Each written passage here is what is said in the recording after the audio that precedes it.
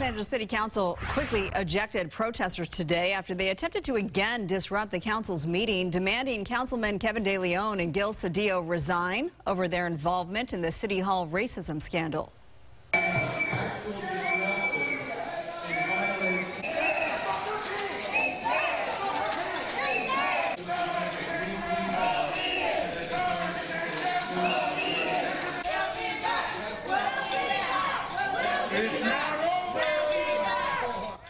There was just a sample of the protesters today. Council President Paul Krekorian immediately gave three warnings before asking police and riot gear to clear the protesters from the chamber.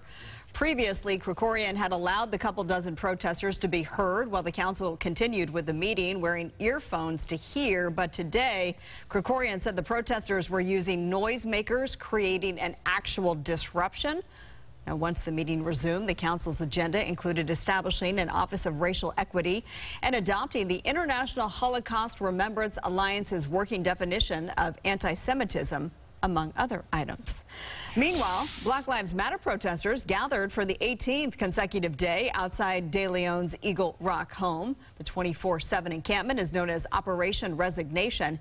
It's designed to force his resignation and force him to vacate his residence, but De Leon has not been seen once at this property, and neighbors tell Fox 11 the home has served as a rental property recently.